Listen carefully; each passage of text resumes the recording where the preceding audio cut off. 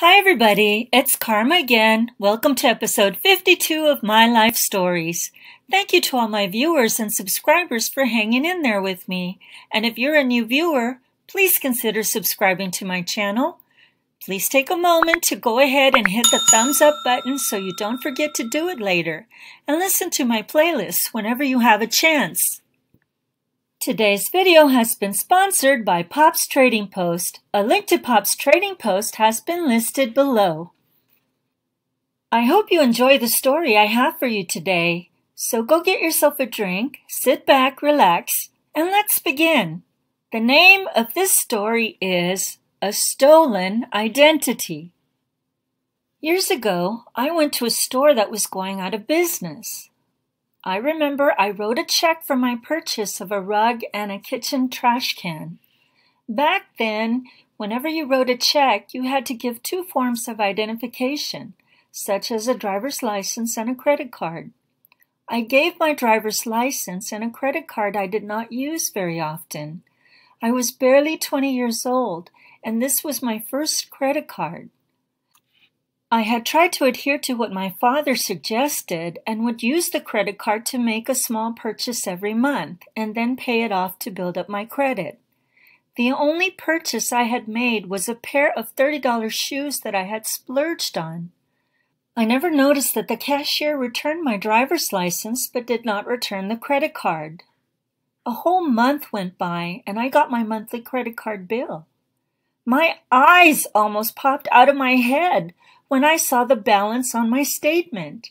The balance was for $50,000 and the minimum payment due was for $5,000. I laughed because this was ridiculous. It had to be some kind of mistake. My credit card limit was $300. How could it be anything but a mistake? I got on the phone and called the billing department, gave the account number, and laughed when I said, I think this is some kind of computer error. Imagine my shock when I heard the person on the phone say, No, there is no mistake. That is the balance on your credit card, and the minimum payment due is $5,000. I protested. My credit card limit was $300. How could they let someone charge that much above my card limit? The rep explained that their system took more than 24 hours to update.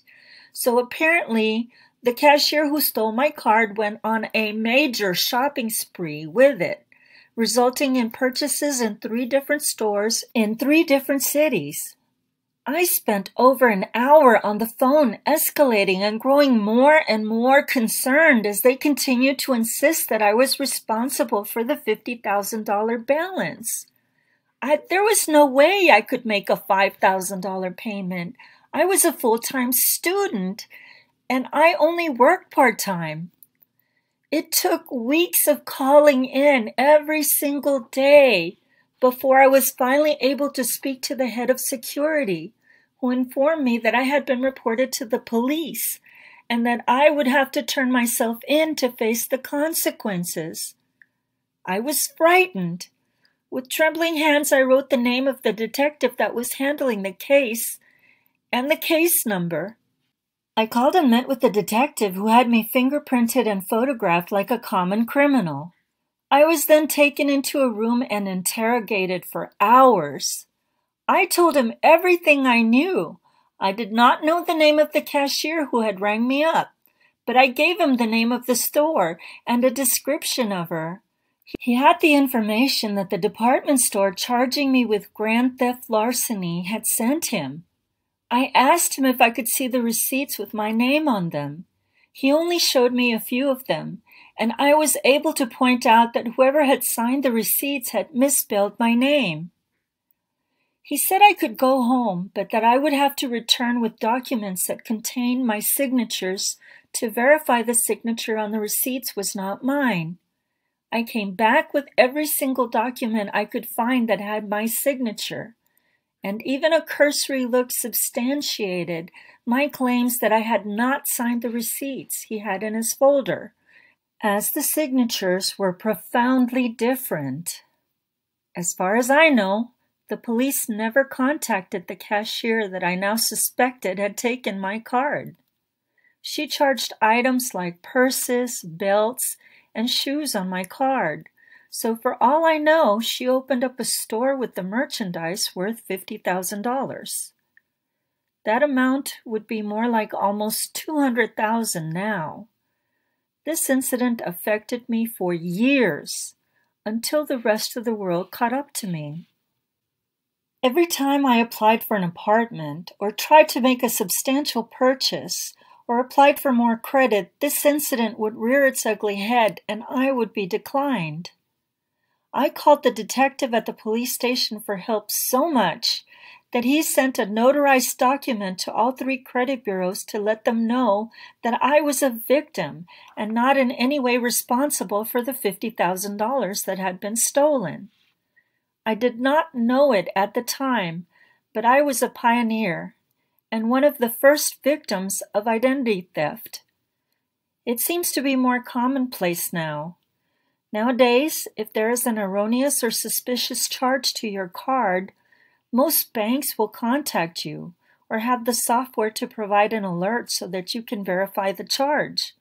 It's a minor inconvenience at best. This only means that this type of crime has become so rampant, we don't even give it a second thought. As for the store that tried to have me charged with a felony for grand theft of $50,000, I tried to keep their credit card. Remember that it was my first card. I insisted that they never accept my card unless ID was provided. However, the very next time I went to their department store, I was able to make a purchase without ever having to produce said ID. No matter how many times I called them, their attitudes and service was apathetic at best. In a rage, I cut up that first credit card and did not even look back. Six months later, I was flipping through the news and I heard that a massive chain was going out of business. That's too bad, I thought to myself.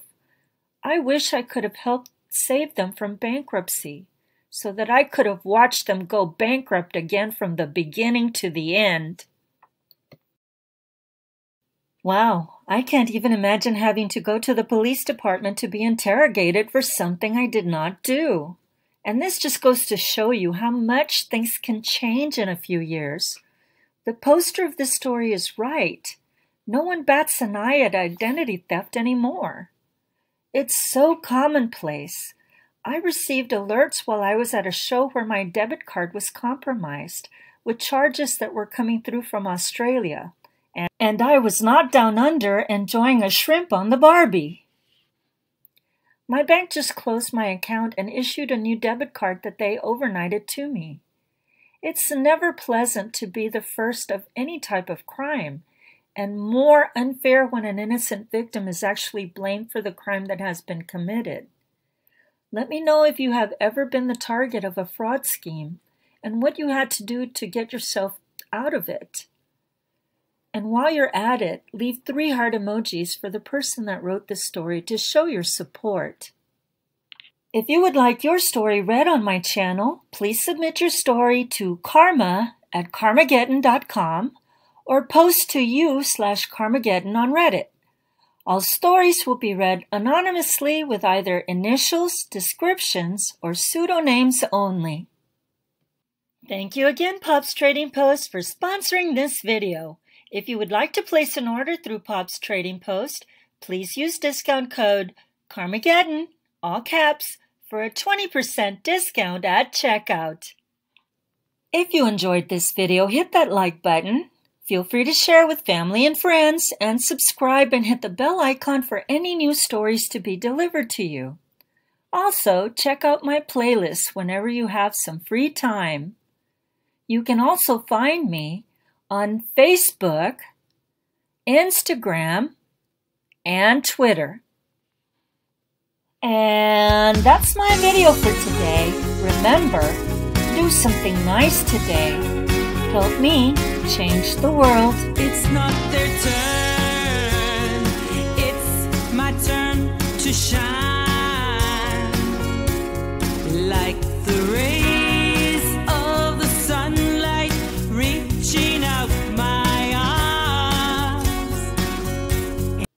See you next Tuesday. Things have been so unfair this year, and lots of people have suffered as a result of it.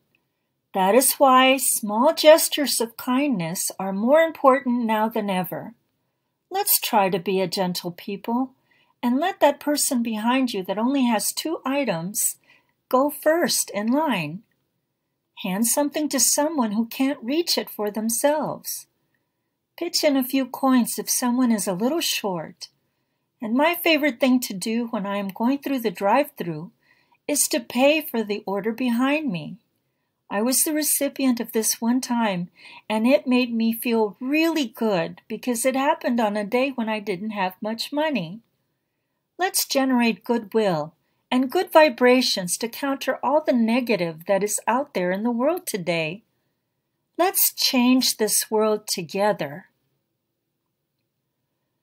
Have a serene day and a peaceful night, and I will see you later.